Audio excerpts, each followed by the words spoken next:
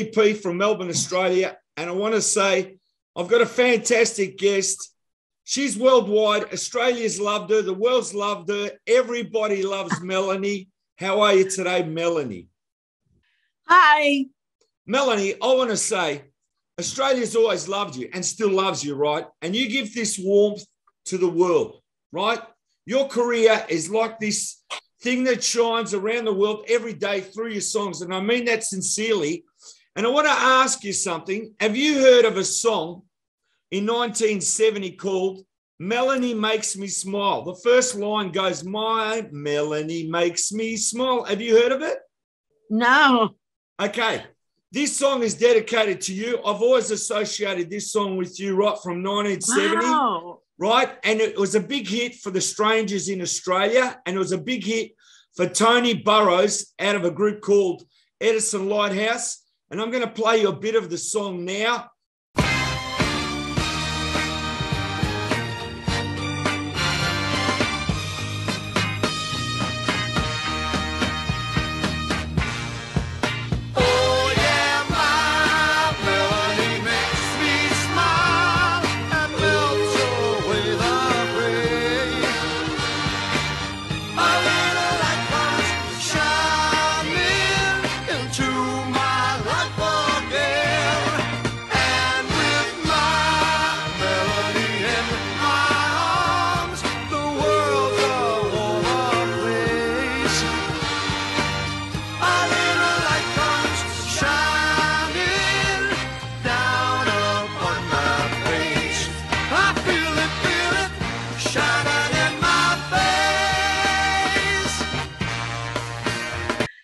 Funny that nobody ever told me this. I'm here to tell you things that no one knows, right? That's what I do.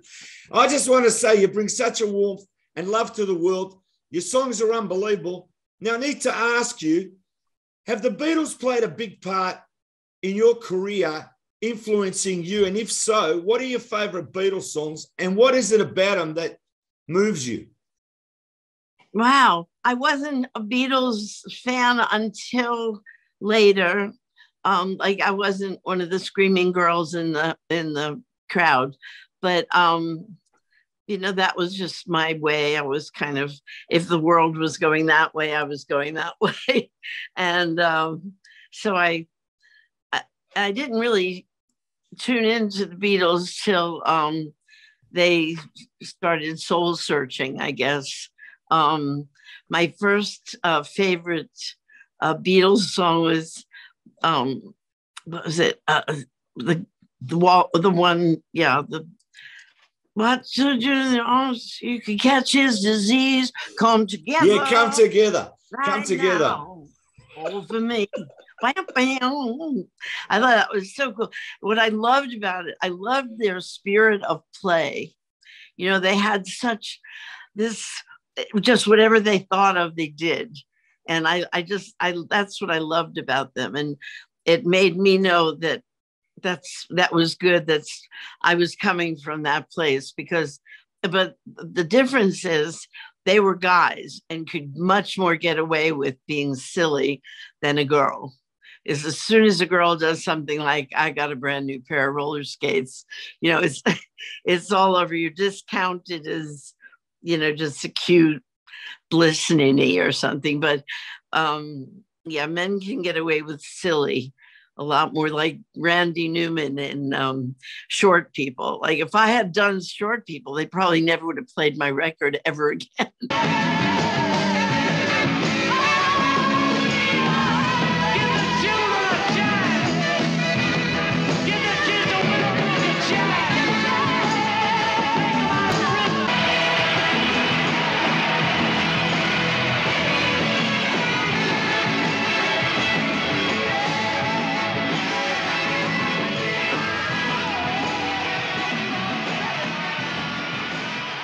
Brand New Key is a quirky song. It's not really a quirky song. It's a time. It's a song of the times. And even here in Australia, we had the mixtures, and they did a song called Push Bike Song. These are songs you haven't heard, but it's in a similar style to your song. All right. So what I'm Uh-huh. trying to say is, you can appreciate that an artist does what they want to do, and then the acceptance is. What is the acceptance? Are you doing the songs for the people, or you doing the songs for yourself, or you doing it to please yourself? Are you trying to please them? But I can tell you, every single song that you wrote and recorded is a signature song just for you. And Lay Down is one of the greatest protest songs that ever was. It's like this song that's so unique and so strong. It's such a strong song. It's got the biggest message. And that Lay Down, I can tell you, is one of the greatest protest songs ever written and performed by yourself. Well, thank you for saying that. I, I mean, it, it was an emotional, creative expression right from the get go. I, I thought of that anthemic part, you know, the lay down chorus as I was leaving Woodstock. And um, I hadn't written the song yet. So it's kind of amusing when people say, I heard you do candles in the rain at Woodstock. no, you didn't, because I, I hadn't written it yet. But I got the inspiration from that night when I happened to be the person that was on the stage when the candle lighting started to take place. And that was, it's significant, you know, because it, it just was a symbol, you know, that that I- had this incredible flow of humanity coming toward me. And I, I, I really got something from the people that I can never repay you know i really can never repay except through the music and that's what i did i had that song and we we went to the studio and at first the edwin hawkins singers um, they said they couldn't do it because it wasn't religious enough you know it didn't have god jesus nothing. So um, i said yeah but you know it, it is really spiritual. But i was shy and i wasn't pushing it. But my husband peter Schekeryk he was not shy. And he he went to them and he he convinced me that edwin hawkins himself said yes we'll do it but in actual fact that isn't the case. I went to a gymnasium where they were rehearsing thinking that i was going to be rehearsing with them and they didn't have any idea that this was happening. And here i am i open the door the back door of the gymnasium i go in and they're they look like they're in the middle of a song and they stop and they look like who's she? You know what's this? And i have a guitar. I look at my husband next to me he was my producer manager everything. And um he he said yeah it's okay it's okay. And he runs ahead and talks to edwin hawkins and they're gesturing and my husband is waving his arms and edwin hawkins is shaking his head and um, and Peter signals me. I guess he thinks this is the moment he needs the fire. And so he signals me, and I have no choice. I go down where they're rehearsing with the piano and I start singing Lay Down.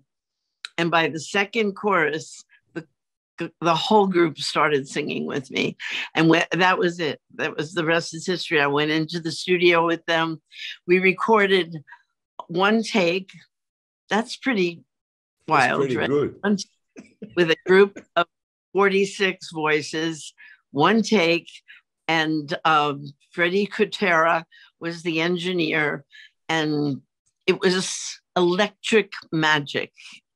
Absolutely nothing like this ever happened in the studio again, before or after with me. And um, the conga player from uh, Santana was the the the drummer, and it was Edwin Hawkins and me on a guitar. I, I played three chords, you know.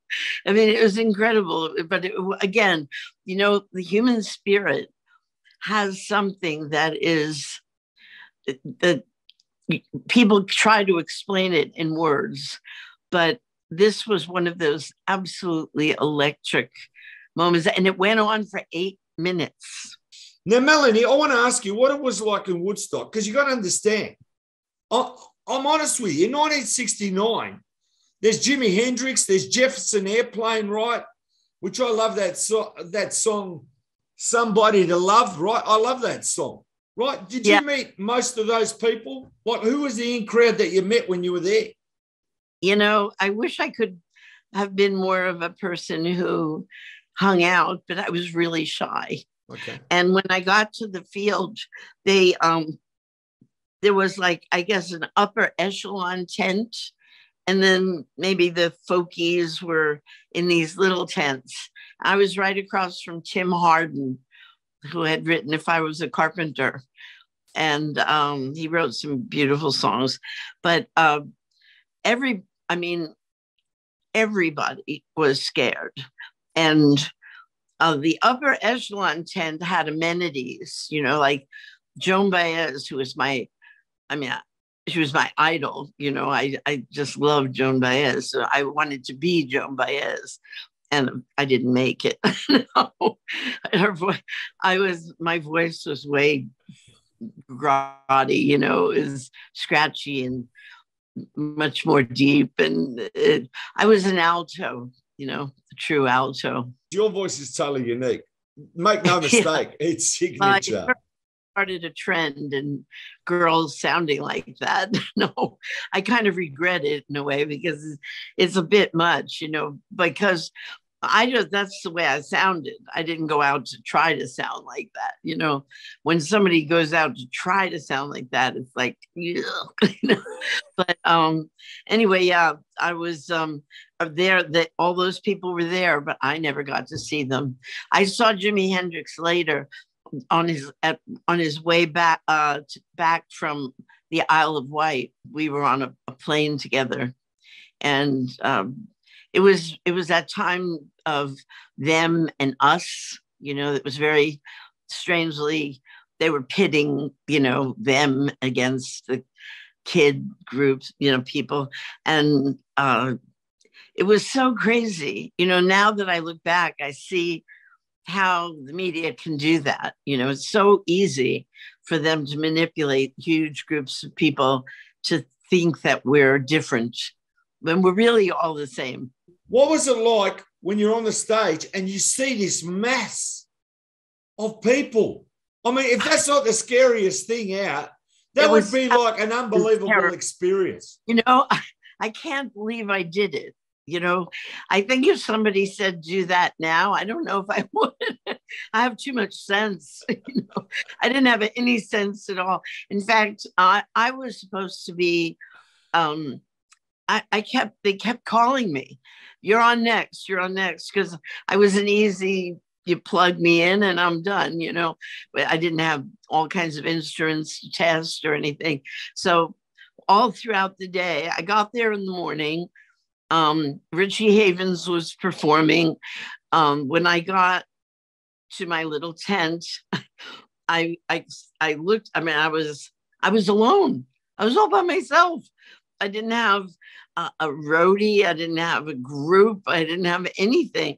And I, I was thinking, how am I going to get out of here? I really have to get out of here. Again, I didn't get to meet any of the superstars. I I was not a veteran performer. I mean, I had done a few things. I, the you know it was called the Bitter End in in the village, and I had done uh, one show at town hall, and uh, I had one song, one song that an underground DJ was playing called "Beautiful People."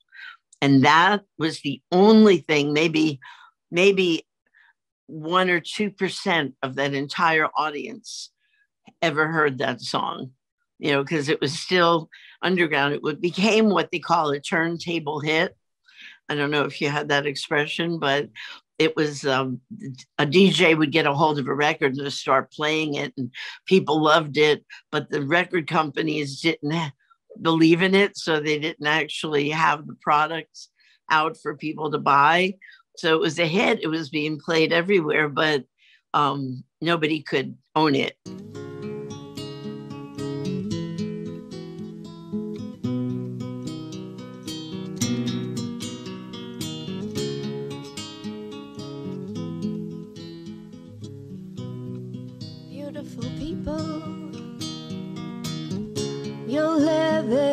same world as I do, but somehow I never noticed you before today.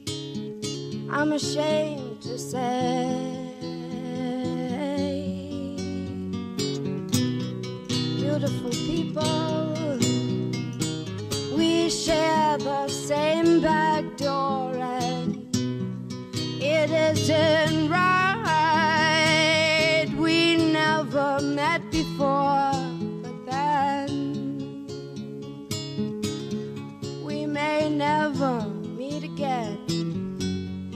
If I weren't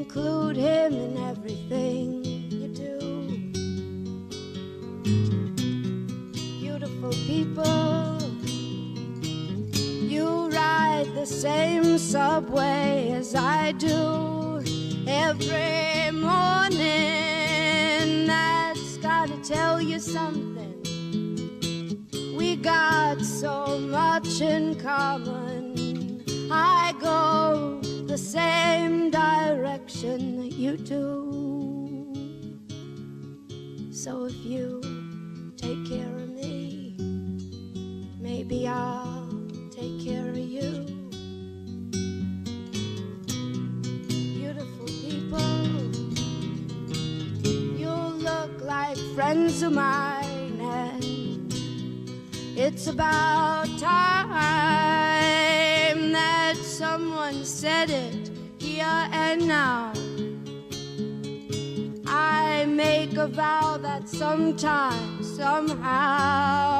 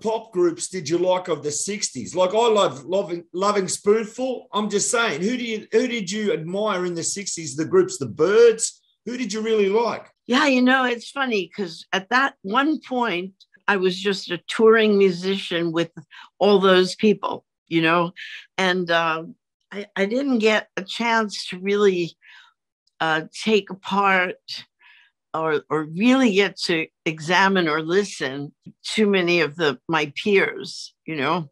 Uh, again, I, I loved later on, I liked Joan Armatrading.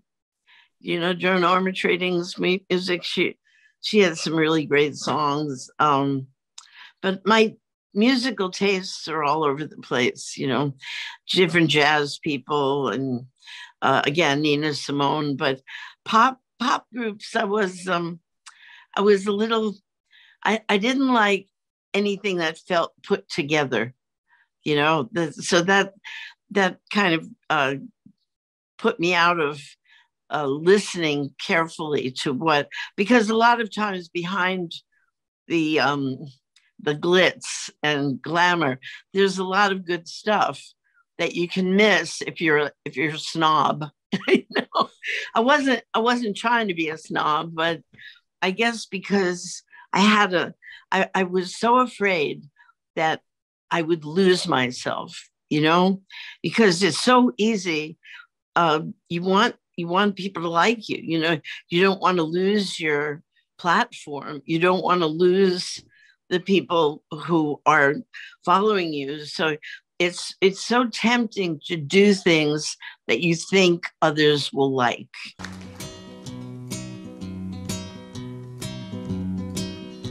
Look at what they done to my song. Look what they done to my song. It was the only thing that I could do half right, and it's turning out all wrong. Ma. Look what they done to my song. Ah, look at what they done to my brain. Ah. Look at what they done to my brain. Well, they picked it like a chicken bone, and I think I'm half insane. Ma. Look at what they done to my song. I wish that I find a good book to live in. I wish I could find a good book. Well, if I could find a real good book, I'd never have to come out and look at what they've done to my song. Ils ont changé ma chanson. Ils ont changé ma chanson. C'est les seules choses que je peux faire et ce n'est pas bon. Ils ont changé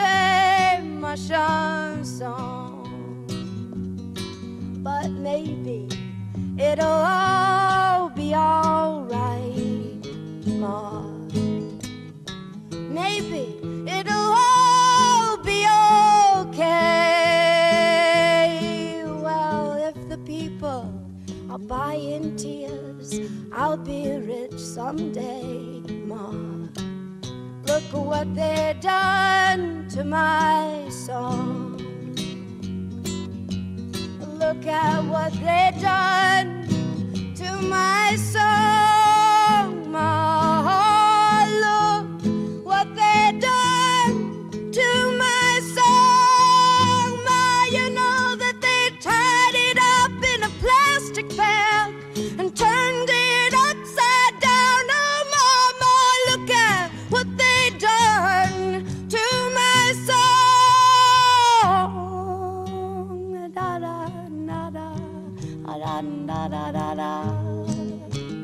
Da da da da da da da da da da. It was the only thing I could do all right, and it's turning out all wrong. Oh, mama, Lord, what they done to my song. Mm-hmm. What appeals to me is I saw the Jack Douglas show, the Johnny Carson show, whatever show. I've seen all those shows. What really stands out is, right? I'm being honest. Here you are, a beautiful woman on the TV performing faultless. And that's the image that went out there. And I mean, when you look back, how great is that? I know. I can't believe it was me. you know, really, I I look and I think, I don't know if I could do that. You know, I I don't think I I don't even know where that kind of I just felt like this was I had an angel or something, you know, sort of guiding me. I mean, I know that sounds crazy, but it it always felt like there was this sort of protective force around me I, And- I totally get it. and and I and I just sort of knew that there were I, I couldn't I I had to be true, you know, and and um, you know, some people might laugh at that, but um, I felt I had to be true to myself. I had a, opportunities to become more well known over the years, uh, but it would involve selling my soul to the devil. I saw that French interview where they're talking to you in French and you're talking back. And you got to understand the image is beautiful on the screen. It's like you're you're worldwide, whether you're in Europe or you're in France or you're in America or you're in the UK, no matter where you are, your identity and your personality, and at that particular time period, you're top of the mountain because you're just like, without even trying to be the product, you are the product. You look the part, you play the part, and you're so unique. That's what makes you so universal.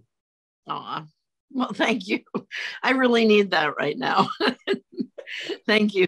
I love your background. I love your um, background, the colors and everything is so pretty. Since the um, whole lockdown and everything uh, gave us a chance to think and reflect, and uh, I wrote a lot of songs, a lot of songs, and um, we're going to be putting them out. I do have a download I'm an independent artist. Who would have cool. thought, you know?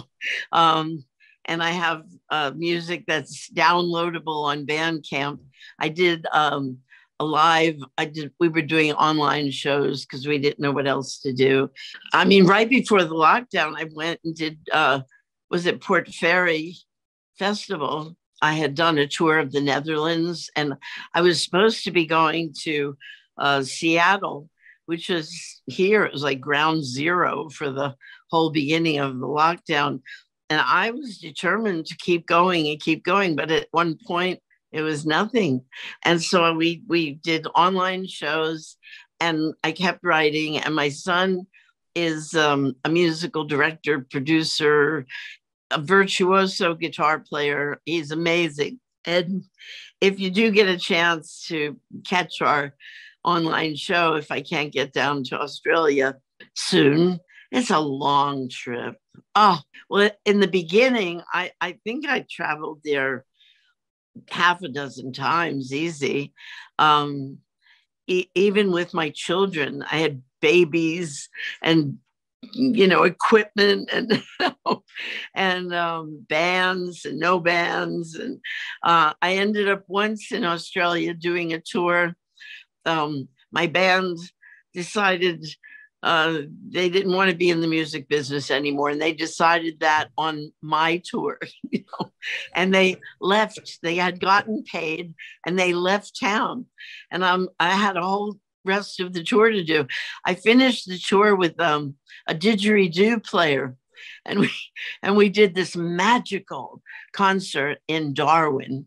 It was absolutely astounding and and the the vibe was incredible the didgeridoo is really soulful it's got some deep deep frequencies you know and i i'm a believer in the power of frequency you know. So, um, yeah, we're we perform in um, a, a 432, which is a different. It's not 440 anyway. I won't go into that too much, but um, you know, it's uh, it's powerful stuff, frequencies. So we're I mean, I'm I'm just in it, you know. I'm going to be singing and playing and writing till the very end. So here I am, like it or not. You know, yeah, I don't worry about anything. I just I just keep doing it, you know, and I make um the, the songs keep coming and I keep writing. It's one of those things that age doesn't have anything to do with. Yes, your your vocal cords change and you know, some people um might think, oh, she sounds different. Yeah, I'm supposed to. no, that's what happens. You get different. Um, it's like that old Velveteen Rabbit thing, you know. I'm the old Velveteen Rabbit. So um, anyway, if you uh, want to hear the stuff I'm doing, I'll, I'll send you a download and everything. Of the songs that you've written, the hits, Melanie, can you tell me your top three hits, the ones that you love, that you recorded and wrote? Well, as far as an album, I think the um the Stone Ground Words album was the one that I felt, you know, that was and Gather Me. I mean, I have songs on Gather Me that that included Brand New Key, but I was very careful on the B side. We used to have an A side and a B side. The on the B side, I put Some Say, which is a lot more of an introspective kind of a song. And I it was important to me that people understood that I wasn't like a one-dimensional person, that there were there was, you know, moods. And you could, you know, if you in fact, mostly I was in a much moodier place musically than um, a happy go lucky place. And, you know, but it just, um, I think Stone Ground Words is one of the ones in Gather Me. Um, and then more recently, uh, the songs that I'm recording now. I mean, I guess because it's it's what you just did, you know, so you get really excited about what you're doing, um, which is uh, just keeps me going, you know. That's amazing. This new stuff that you got coming out, just keep tuning it out for the world. I toured Melbourne. I did um I did that beautiful wooden uh that theater in Melbourne, that beautiful wooden one. What is that called? That uh it's a big uh, theater and it's all wood inside. It's magnificent. It it's very modern, but Oh yeah, um, that could be the uh that could be the one near the gallery there. They've got a big uh art gallery, and next to that is they've got an exhibition building there. It's like a, a very special place. It's like a concert hall. yeah, I think you did Yeah. that. yeah. Anyway, I did that. I it, it was a sold out tour, so it went really good. So I should be able to come back. You know, No, you can come back anytime you want. Do you remember the year that was? um, was it 2015 or something like that? Melanie, thank you so much for being on the show. And as I said, the only thing we can say is your music lives on forever. Your performances on video live on forever. And thank you so much for being on the Plastic EP show. Thank you. Thank you for having me. Just for